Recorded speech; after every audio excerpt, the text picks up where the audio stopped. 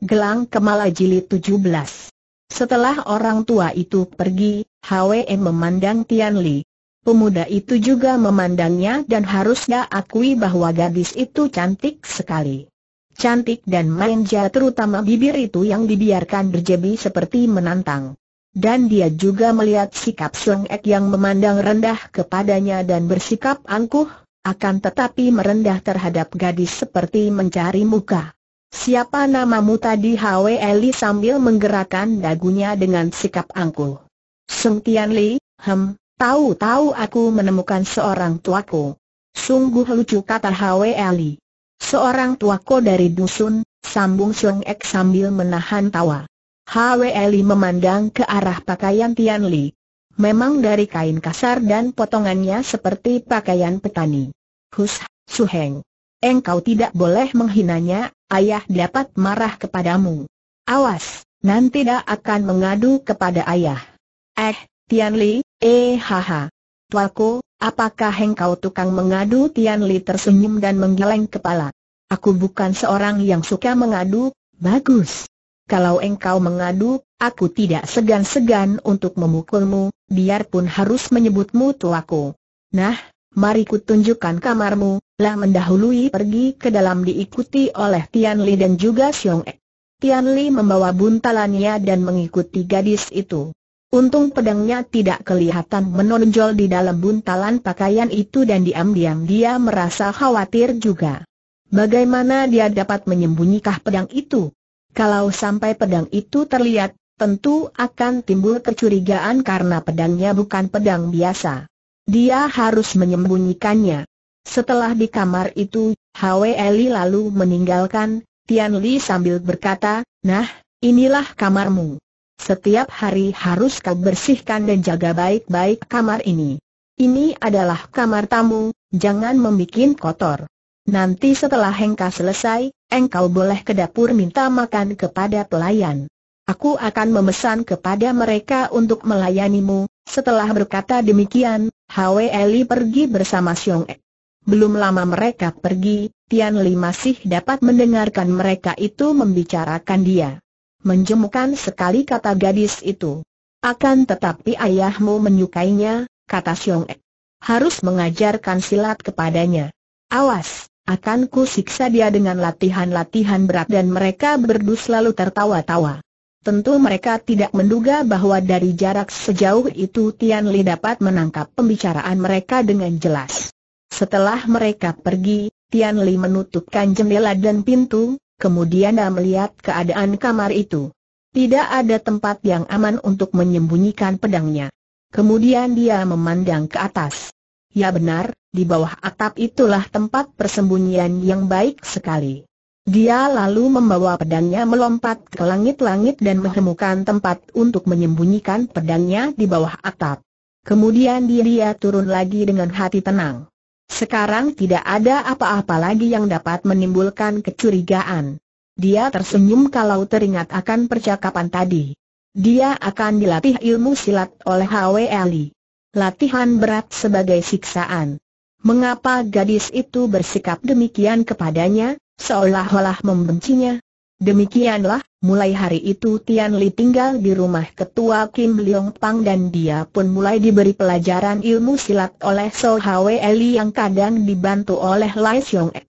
Karena takut kepada ayahnya, maka Hwe Eli benar-benar memberi pelajaran ilmu silat, akan tetapi agaknya ia memang memberi tugas yang berat-berat kepada Tian Li.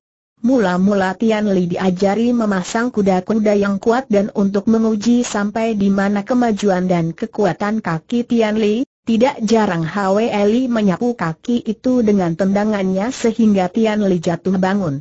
Pada suatu hari So Hwe Li dengan ditemani Lai Xiong Ek sudah berada di Lian Butia bersama Tian Li. Tian Li sudah siap untuk menjadi bulan-bulan siksaan kedua orang itu seperti biasa ketika mengajarkan ilmu silat. Akan tetapi sekali ini Hwe Eli berkata dengan suara ketus, Ayah menghendaki agar engkau dapat menggunakan semacam senjata untuk membela diri kalau engkau menjadi kusir dan dihadang perampok. Nah, sekarang kau pilih sebuah di antara senjata-senjata di rak ini. Aku akan mengajarkan engkau memainkan senjata itu. Pilih salah satu katanya sambil menunjuk kerak senjata di mana terdapat 18 macam senjata. Tian Li memandang ke arah senjata senjata itu lalu berkata, Xiao Moi, aku ngeri melihat senjata yang tajam-tajam dan runcing-runcing itu. Aku takut kalau-kalau tubuhku terkena sendiri ketajaman dan keruncingannya. Maka, biarlah aku memilih senjata tongkat ini saja, dapat kupakai menggebuk kalau-kalau ada anjing hendak menggigit kakiku, Song Ek tertawa. Tongkat untuk menggebuk anjing? Akan tetapi tanpa memiliki tenaga sinkang yang kuat, apa artinya tongkat ini bagimu? Tian Li. Sekali bertemu pedang atau golok lawan, tentu akan patah menjadi dua potong, sudahlah, kalau itu yang dia pilih, biarkanlah, kata So Hwe Ali. Agaknya memang lebih cocok kalau seorang kusir membawa sebatang tongkat, tentu saja ucapan ini merupakan olok-olok. Tian Li memandang kagum. Xiao Moi, apakah engkau dapat memainkan semua senjata ini tentu saja. Dan tongkat itu pun dapat kumainkan dengan baik. Nah, lihat dan pelajarilah.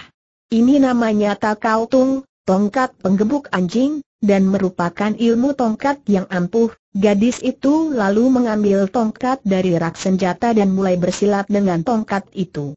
Demikian cepat gerakannya sehingga Tian Li berseru, wah, jangan cepat-cepat, Xiao Moi.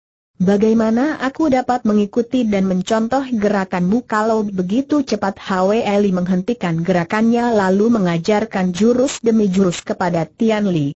Dan setiap latihan, Tian Li disuruh melawannya dan tentu pemuda itu terkena gebukan atau sapuan pada kakinya sehingga dia kembali harus jatuh bangun. Akan tetapi karena ajaran yang keras ini, dalam waktu sebulan dia sudah dapat memainkan ilmu tongkat yang oleh Weli disebut Takau Tung Hoat itu. Gerakannya memang masih kaku, akan tetapi dia sudah mampu mainkan jurus pertama sampai jurus ke-18. Setelah sebulan ia berada di situ, setiap hari berlatih silat dan juga mengurus kuda-kuda di istal, pada suatu hari So Tang Chu memanggilnya, Tian Li, kulihat engkau setiap hari tekun i mempelajari ilmu silat dan menurut laporan Hwe Li, engkau sudah dapat memainkan senjata tongkat yang kau pilih sendiri. Aku ingin melihat engkau memainkan tongkat itu. Cobalah Tian Li lalu mengambil tongkat itu dan di depan So Pang Chu dia pun yang gerakan tongkat itu dari jurus pertama sampai selesai. Gerakannya masih kaku, akan tetapi sudah cukup memadai. Bagus, setidaknya engkau sudah dapat membela diri sekarang. Nah, mulai besok engkau boleh ikut mengantarkan barang kawalan sebagai seorang kusir. Kebetulan besok ada kiriman barang ke So Chiu, tidak berapa jauh akan tetapi melewati Bukit Merak yang kadang-kadang suka terdapat perampok yang mengganggu. Beranikah engkau kalau hanya mengusiri, kenapa tidak berani, Suek? Kalau ada perampok mengganggu, yang melawan tentu para Piao Su, bukan saya, benar, akan tetapi engkau juga harus melindungi kuda-kudamu dari serangan penjahat. Bagaimana kalau ada penjahat hendak merampas kuda? Apakah engkau akan diam saja? Harus kau lawan dengan tongkatmu, Tian Li mengerutkan alisnya, kelihatan khawatir. Baiklah, Supek. Mudah-mudahan saja tidak ada perampok pada keesokan harinya, pagi-pagi sekali Tian Li telah bersiap-siap. Kini dia mendapatkan pakaian seperti seorang Piao Su yang gagah dan dia mengenakan pakaian itu. Lalu dia mempersiapkan kereta dan memberi pakaian kepada dua ekor kuda yang akan menarik kereta. Selagi dia sibuk membuat persiapan, muncullah Hwe Ali. Selamat pagi, Xiao Moi. Sepagi ini engkau sudah bangun tuako, aku mendengar engkau akan mengusiri kereta yang membawa barang kawalan ke Sowechiu. Hati-hati, tuako dan jaga kereta baik-baik, jangan membuat malu aku yang selama ini memberi petunjuk kepadamu, kata Hwe Ali nadanya menggoda. Tian Li memperlihatkan tongkatnya dengan bangga. Dengan tongkat ini aku akan menjaga kuda dan kereta, Xiao Moi. Jangan khawatir. Ajaranmu pasti berguna bagiku, gadis itu hanya tersenyum dan meninggalkannya. Rombongan itu berangkat dengan dua kereta penuh muatan barang dan dikawal oleh 12 orang anak buah Kim Leong Pang. Yang menjadi piau sunya adalah dua orang murid Kim Leong Pang yang sudah pandai, bernama Chiang Hoat dan Gan Buntek. Dua orang itu membawa pedang di punggung mereka dan kelihatan gagah perkasa. Di atas dua buah kereta itu dipasangi bendera yang bergambar seekor naga emas, sebagai tanda bahwa kereta itu dilindungi oleh Kim Leong Pang, perkumpulan naga emas. Karena Tian Li merupakan seorang kusir baru yang belum berpengalaman dan belum mengenal jalan, maka keretanya berada di belakang, mengikuti kereta pertama. Para anak buah Kim Leong Pang itu dibagi menjadi dua, enam orang di depan kereta dan enam orang pula di belakang, masing-masing dipimpin seorang Piao Su. Chiang Hoat yang lebih tua berada di depan sedangkan Gan Buntek berada di belakang kereta. Mereka semua menunggang kuda dan rombongan itu segera berangkat. Kalau hanya penjahat-penjahat kecil saja tentu tidak akan berani mengganggu rombongan dua kereta ini. Baru bendera yang berkibar di atas kereta itu saya sudah merupakan jaminan keamanan, apalagi dua orang Su dan dua belas orang anak buahnya yang nampaknya demikian gagah perkasa. Chiang Hoat adalah seorang murid Kim Leong Pang yang sudah pandai, berusia 40 tahun dan tubuhnya tinggi kurus. Dia sudah memiliki banyak pengalaman karena sudah puluhan kali mengawal barang kiriman dan ilmu pedangnya juga amat lihai. Barangkali hanya Hwe Eli dan Sung Ek saja yang memiliki tingkat kepandaian lebih tinggi darinya. Adapun Piao Su kedua, Gan Buntek berusia 35 tahun dan tubuhnya sedang namun kokoh kekar karena dia bertenaga besar. Dalam hal ilmu pedang, dia pun hanya sedikit di bawah tingkat Siang Hoat Tian dia pun sudah berpengalaman sebagai Piao Su. Perjalanan dari Pao Ting sampai jauh keluar kota terjadi dengan aman dan lancar. Ketika Bukit Merak nampak di depan, Chiang Huat berseru kepada anak buahnya agar berhati-hati. Akhir-akhir ini terdapat berita bahwa Bukit Merak tidak aman dan sering kali muncul orang-orang jahat di tempat itu. Gan Buntek yang berada di belakang kereta juga memberi isyarat kepada anak buahnya agar berhati-hati dan mereka menjalankan kuda di kanan kiri kereta kedua untuk menjaga segala kemungkinan. Ketika rombongan itu mendaki lereng bukit itu dan tiba di dalam hutan, tiba-tiba dari kanan kiri meluncur anak-anak panah yang menyerang mereka. Akan tetapi, dua orang Piao Su dan anak buahnya sudah siap, cepat mencabut pedang dan berhasil menangkis semua anak panah sehingga runtuh ke atas tanah. Dan pada saat itu nampak belasan orang berlompatan keluar dari balik semak belukar dan batang-batang pohon. Mereka adalah orang-orang yang nampaknya kasar dan bengis, memegang golok dan sikap mereka penuh ancaman. Akan tetapi orang-orang itu tidak segera menyerang, melainkan hanya mengepung dua buah kereta itu bersama para pengawalnya. Mereka agaknya menanti pimpinan mereka dan tak lama kemudian muncullah pimpinan mereka itu. Dia seorang tinggi besar yang mukanya bopeng-bopeng. Buruk sekali muka itu, akan tetapi menggiriskan dengan matanya yang besar dan bersinar-sinar, mulutnya yang cemberut dan tubuh yang tinggi besar itu penuh dengan otot yang melingkar-lingkar.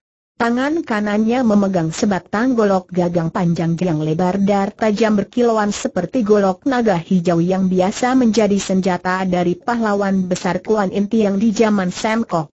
Melihat tokoh yang kelihatan tangguh ini, Chiang Hoat segera maju dan memberi hormat. Kami dari Kim Leong Pang hendak pergi ke Sochiu dan numpang lewat. Harap saudara yang budiman suka memberi jalan dan untuk itu kami siap untuk memberi sekedar sumbangan dia mengeluarkan sekantung uang dan mengangkat kantung itu ke atas. Memang demikianlah kebiasaan di dunia Kang Ou. Seorang Piao Su kadang-kadang harus bersikap bersahabat dengan golongan Lok Lim atau golongan Rimba Raya sebagai sebutan para perampok. Kalau perlu para piausu itu tidak segan untuk memberi hadiah sebagai sogokan agar barang kawalannya jangan diganggu. Akan tetapi, orang tinggi besar yang mukanya bopeng itu membelalakan matanya dan suaranya terdengar meneuntur ketika dia berteriak, kalian menghina Kot Beng KWI, setan pencabut nyawa.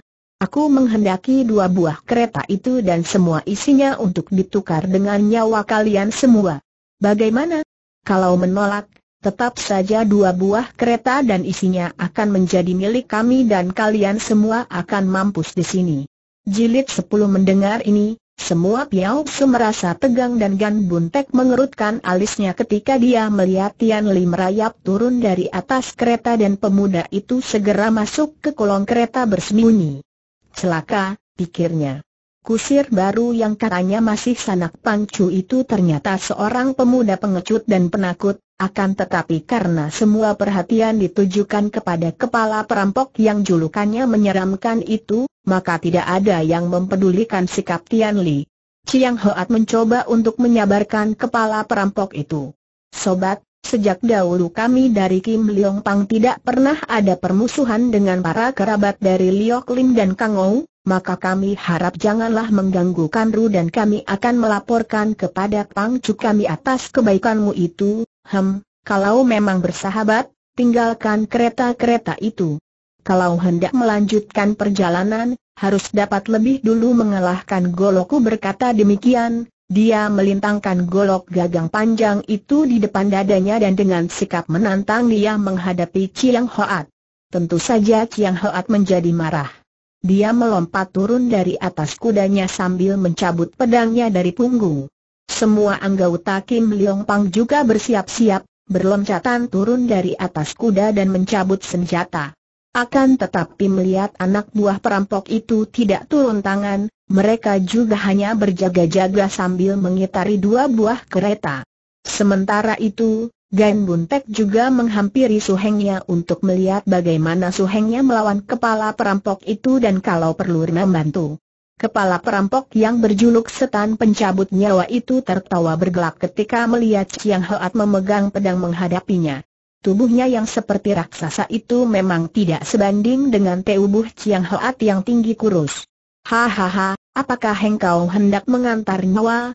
Lebih baik serahkan dua kereta itu dan kalian boleh pulang dengan nyawa masih utuh hem, tidak perlu banyak bicara lagi.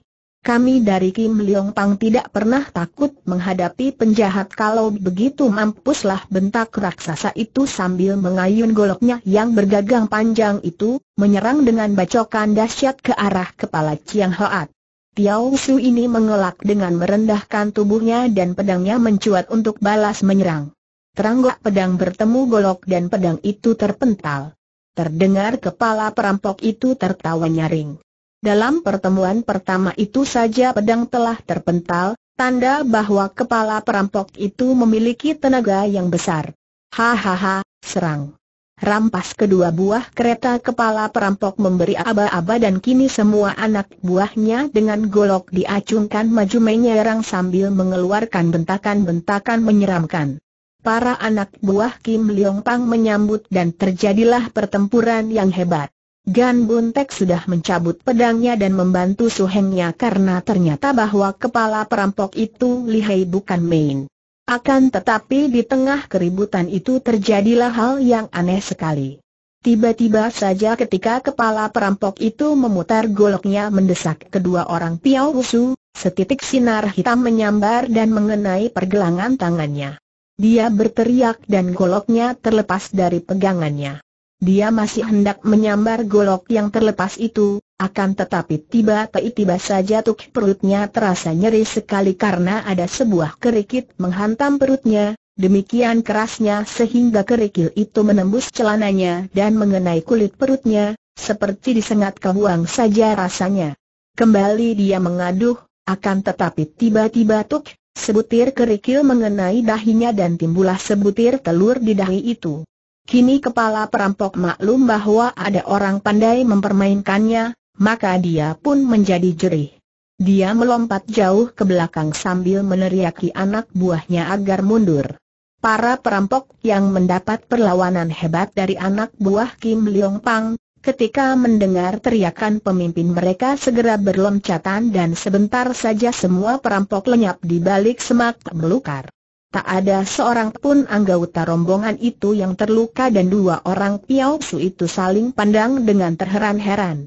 Mereka tidak melihat adanya kerikil-kerikil yang tadi menyambar ke arah tubuh kepala perampok itu, hanya melihat kepala perampok yang kuat dan lihai itu melepaskan goloknya, kemudian berloncatan ke belakang sambil menerlaki anak buahnya seolah-olah tiba-tiba merasa takut sekali.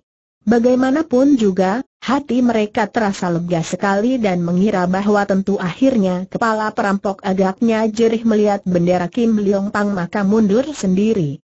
Ketika mereka mengumpulkan anak buah, mereka tidak melihat Tian Li. Eh, di mana kusir baru itu tanya Cha Ang Hoat dengan heran dan khawatir. Gan Buntek tertawa sambil menuding ke kolong kereta. Semua orang melongok ke bawah kereta dan benar saja, Tian Li meringkuk di bawah kereta dengan ketakutan. Semua orang tertawa dan Tian Li dengan kemalu-maluan lalu merangkak keluar. Perjalanan dilanjutkan dengan selamat dan setelah menyerahkan barang-barang kawalan itu di Sochiu, mereka lalu pulang ke Paoting. Pada keesokan harinya barulah mereka tiba di Paoting dan ramailah mereka bercerita tentang perampokan itu dan betapa mereka semua dapat mengusir para perampok. Dan tidak lupa mereka menceritakan betapa Tian Li ketakutan bersembunyi di kolong kereta. Wajah So Ken menjadi marah mendengar ini. Dia ikut beri rasa malu karena semua anggota Kim Leong Pang tahu beiyaka bahwa pemuda itu dianggap sebagai keluarga Seng ketua. Tian Li, engkau bagaimana sih tegurnya ketika dia memanggil pemuda itu ke dalam? Ada perampok mengganggu, engkau tidak membantu para piau malah bersembunyi di kolong kereta. Memalukan. Supek perampoknya amat galak dan menyeramkan. Aku menjadi takut. Dan pula, apa yang dapat saya lakukan naik, ingatlah. Engkau ini putra seorang pendekar besar. Mendiang ayahmu dahulu adalah seorang pendekar yang perkasa. Masa engkau anaknya menjadi penakut? mulai sekarang akan kuajarkan sendiri ilmu tongkat itu kepadamu baiklah, Supek, diam-diam Tian Li merasa girang karena kalau Supeknya yang mengajarnya sendiri berarti tidak akan bebas dari gangguan Hwe Li yang bengal. Demikianlah, mulai hari itu, Tian Li dilatih sendiri oleh Supeknya dan Seng Supek merasa girang karena dia mendapat kenyataan bahwa Tian Li cukup cerdik dan mudah memahami ilmu tongkat itu. Kini gerakan Tian Li tidak kaku lagi dan dia pun diajarkan menghimpun tenaga dalam pukulan tongkatnya. Sebulan telah lewat semenjak peristiwa perampokan itu. Pada suatu hari, pagi-pagi sekali, Song Ek sudah berada di Kim Leong Pang dan sudah berlatih pedang dengan sumoinya. Tian Li menonton dari samping dan merasa kagum. Setelah mereka selesai berlatih, Tian Li bertepuk tangan memuji. Bagus, bagus. Kiam Hoat yang bagus sekali serunya girang. Hem, Li Tuako engkau tahu apa tentang Kiam Hoat? Baru memegang pedang saja engkau tidak berani, takut tanganmu terluka. Hayo, daripada bertepuk tangan memuji tidak karuan, aku ingin mencoba ilmu tongkat yang sudah kau pelajari dari ayah kata Hwe Ali. Mana aku berani, Xiao Moi, hayo, tuaku. Aku ingin memberi petunjuk kepadamu tidak, tidak, kalau berlatih denganmu aku hanya akan menerima gebukan dan akan jatuh bangun, kata Tian Li. Pada saat itu, sebelum Hwe Li dapat memaksanya, Tian Li sudah melangkah pergi menuju ke istana kuda. Akan tetapi mereka semua mendengar suara ribut-ribut di pekarangan depan dan segera mereka semua pergi keluar untuk melihatnya. Ternyata di halaman depan nampak berdiri dua orang yang sedang bertengkar mulut dengan para anak buah Kim Leong Pang. Aku ingin bertemu dengan ketua Kim Leong Pang. Panggil dia keluar atau kami akan masuk mencarinya sendiri ke dalam rumah, kalian takkan berani bentak lima orang anak buah Kim Leong Pang itu sambil maju untuk mendorong mundur dua orang itu, akan tetapi sekali dua orang itu menggerakkan tangan kaki, lima orang murid Kim Leong Pang itu terlempar dan terbanting jatuh. Hahaha, begini saja murid-murid Kim Leong Pang seorang di antara kedua orang itu tertawa. Dia adalah seorang tinggi besar bermuka bopeng dan Tian Li segera mengenal bahwa dia itu adalah kepala perampok dari Bukit Merak. Dan yang seorang lagi adalah seorang kakek berusia 50 tahun yang tubuhnya tinggi kurus, membawa pedang di punggung dan nampaknya pendiam dan angkuh. Dia, dia adalah kepala perampok dari Bukit Merak itu kata Tian Li dan mendengar ini, Hwe Eli dan Xiong Ek segera lari menghampiri. Sementara itu, Sou Ken juga sudah muncul dari dalam rumah, mendengar laporan dari anak buahnya. Sou Ken segera memberi hormat kepada dua orang tamunya. Apakah Jiwi mencari aku? Aku adalah Kim Leong Pangcu dan ada keperluan apakah mencariku si muka Bopeng memandang dengan mati mencorong, lalu sambil menggerakkan golok gagang panjang dia berkata, suaranya menggelegar, sudah lama aku mendengar akan nama besar ketua Kim Leong Pang, akan tetapi ternyata anak buah Kim Leong Pang hanyalah orang-orang yang curang dan pengecut. Kalau bertanding suka menyerang orang dengan sembunyi. Karena itu aku datang bersama suhenku untuk menantang orang-orang Kim Leong Pang mengadu ilmu dengan jujur So Kan tersenyum. Dia pun sudah mendengar dari laporan anak buahnya tadi bahwa yang datang adalah kepala rampok dari Bukit Merah. Apakah secu ini yang berjuluk Kot Bengkui benar? Akulah Kot Beng KWI. Hayo suruh keluar murid Kim Long Pang yang tempo hari melawanku, akan kutunjukkan bahwa aku tidak kalah oleh mereka.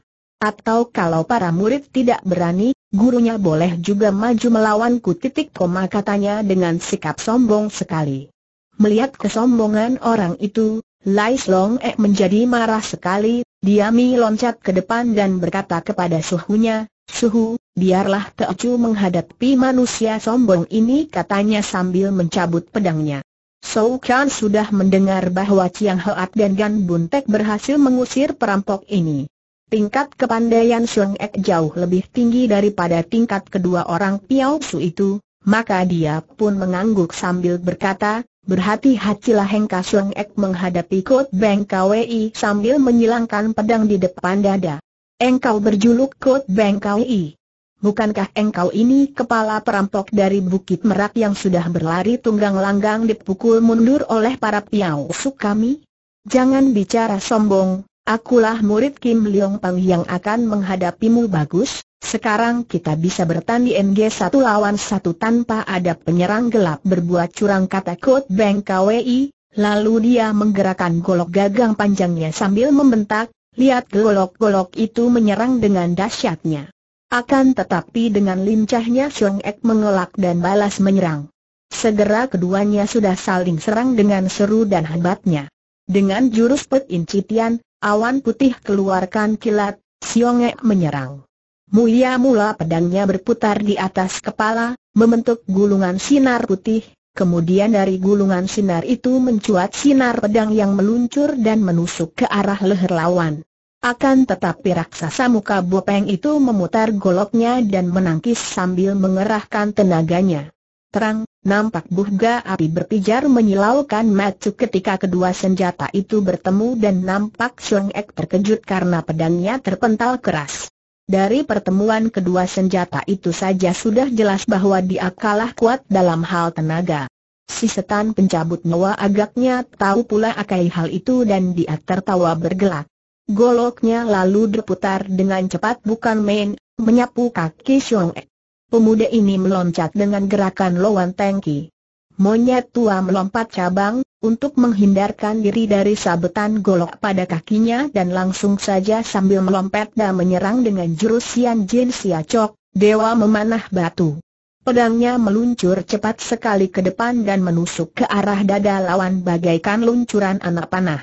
Akan tetapi si raksasa itu memang lihai sekal. Belar pun tubuhnya besar, dia dapat bergerak cepat dan sudah berhasil mengelak ke kiri sehingga tusukan itu pun luput.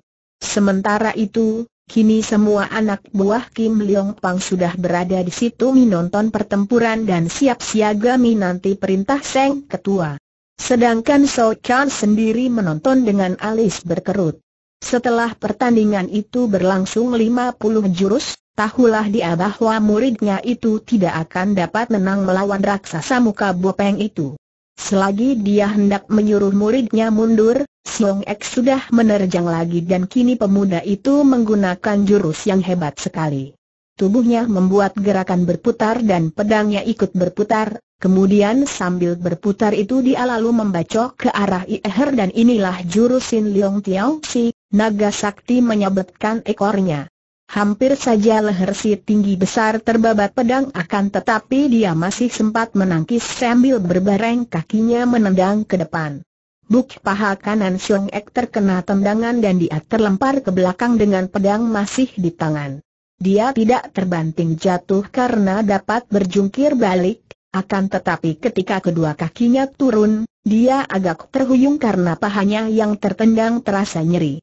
Hahaha, cuma sebegitu saja kepandaian murid pilihan dari Kim Leong Pang si tinggi besar itu tertawa bergelak dengan sikap sombong dan mengejek. Jangan menghina Kim Leong Pang, tiba-tiba Tian Li maju sambil menyeret tongkat yang biasa dia pakai untuk berlatih silat. Aku adalah murid Kim Hang Pang dan aku yang akan menandingimu.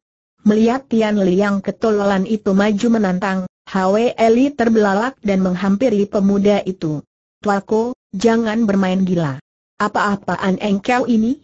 Mundurlah katanya sambil mendorong dan mendorong begitu saja, Tian Li terhuyung-huyung hampir jatuh, akan tetapi dia nekat, menghampiri lagi si raksasa muka bopeng sambil mengejek, hayo, muka bopeng buruk seperti monyet. Kenapa diam saja? Apa engkau takut melawan tongkatku ini? Hayo cepat berlutut agar aku dapat mengebuk pantatmu tujuh kali sebagai hajaran semua orang Kim Leong Pang memandang heran dan terkejut, juga khawatir sekali. Mereka semua tahu siapa Tian Li, seorang yang tolol dan sebagai kusir pernah bersembunyi ketakutan ketika dihadang perampok. Kini berani maju menantang si raksasa yang telah mengalahkan Lai Xiong Ik. Gila! Akan tetapi So Ken memandang dengan terharu. DLA tahu bahwa Tian Li baru beberapa bulan saja belajar ilmu silat, tidak mungkin dapat menandingi raksasa itu. Akan tetapi Tian Li berani. Itu untuk membela nama baik Kim Leong Pang.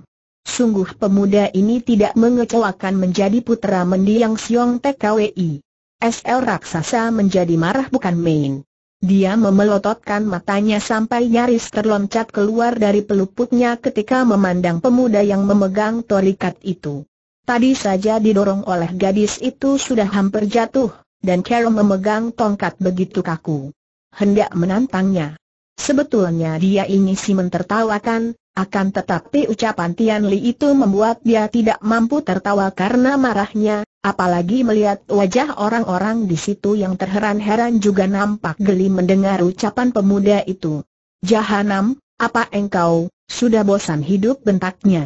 Tidak, aku masih suka hidup engkau yang agaknya sudah bosan hidup, kau kira akan dapat melawanku bentak lagi si raksasa yang merasa dipandang rendah. Masa dia hendak diadu dengan badut ini? Kini Tian Li memegang tongkat dengan tangan kanan dan telunjuk kirinya menuding ke arah hidung raksasa itu tanpa berkata-kata. Karena dituding hidungnya, raksasa itu otomatis memegang hidungnya. Apa yang kau pandang itu hidungmu penuh coreng-moreng dengan sendirinya raksasa itu menggosok-gosok hidungnya dan melihat tangannya, akan tetapi tidak ada apa-apanya. Jangan main gila kau tidak, aku tahu bagaimana harus mengalahkanmu. Aku telah mempelajari ilmu tongkat takau tung, tongkat pemukul anjing, dan sekarang ilmu tongkatku itu akan berubah menjadi takawe itung, tongkat pemukul setan, dan setannya adalah engkau. Bukankah julukanmu setan pencabut nyawa dapat dibayangkan bagaimana marahnya raksasa itu? Dan para anak buah Kim Leong Pang kini tidak dapat menahan tawanya. Mereka tadi merasa tidak senang dan penasaran sekali melihat Xiong Ek dikalahkan, kini melihat raksasa itu dipermainkan dengan kata-kata oleh Tian Li, mereka merasa gembira sekali sampai lupa bahwa Tian Li menghadapi lawan yang amat tangguh dan dapat berbahaya sekali baginya. Cold Bank KWI hampir tak dapat menahan kemarahannya lagi. Akan tetapi sebagai seorang jagoan dia merasa malu kalau harus berurusan dengan seorang pemuda tolol ini, maka bentaknya kepada So Ken, So Pangcu, majulah sendiri menghadapi aku, jangan mengajukan kacung tolol ini tidak bisa, tidak bisa, kata Tian Limotot dan nekat. Sebelum engkau mengalahkan aku muridnya, tidak mungkin engkau melawan gurunya. Atau barangkali engkau takut menghadap Pita KWI Tung ini dia mengamankan tongkatnya. Setan jahanam, mampu engkau di tanganku bentak Kot Beng KWI sambil menggerakkan goloknya. Kot Beng KWI, ingat, ini hanya adu kepandaian. Kalau sampai engkau membunuhnya aku tidak akan memberi ampun kepadamu So Ken berkata dengan nada mengancam. Ah, supek. Mana mungkin seran seperti ini membunuhku kata Tian Li dan kini raksasa itu sudah bergerak maju. Lihat golok-goloknya menyambar dahsyat. Tian Li melompat mundur untuk mengelak. Lompatannya kaku dan beberapa gebrakan saja dia sudah terdesak, lari ke sana sini pontang panting, dan berloncatan untuk menghindarkan serangan golok lawan. Melihat INL, raksasa itu tertawa bergelak-gelak dan tahulah dia bahwa dia benar-benar berhadapan dengan seorang muda yang miring otaknya karena ternyata tidak pandai silat.